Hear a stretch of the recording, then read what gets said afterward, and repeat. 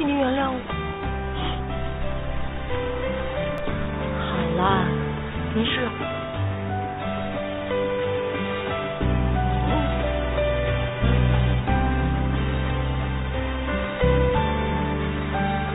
盛菜，嗯，有人来找你。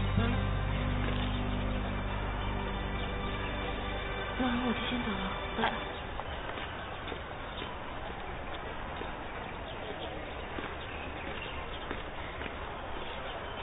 把你手机给我，干嘛？给我就是了。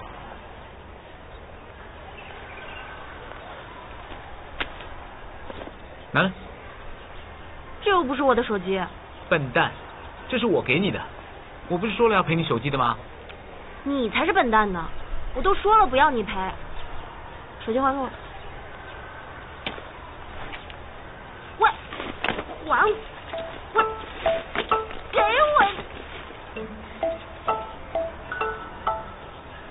看什么看？手机还我！少废话！你要是不收，我就把你妈的手机给摔了，看你怎么交代。你怎么知道我拿了我妈妈的手机？昨天去你家找你，跟你妈妈要你电话号码，她跟我说的。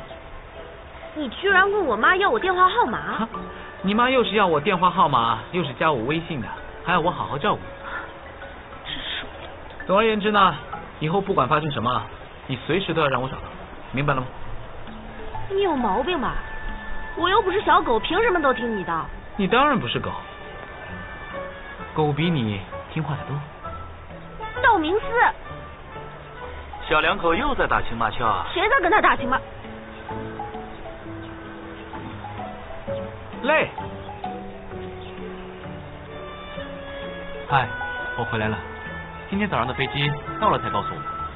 阿四，不如大家今天晚上一起聚一聚吧。好啊。深菜，好久不见。欢迎你回来。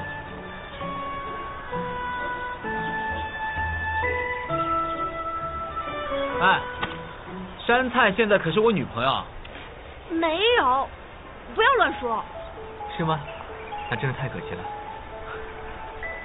像我这么帅的单身贵族，就这么脱队了，确实挺可惜的。可惜的是，以后我们就不得安宁了吧？没错，他们一天吵的架，抵上我们一年了。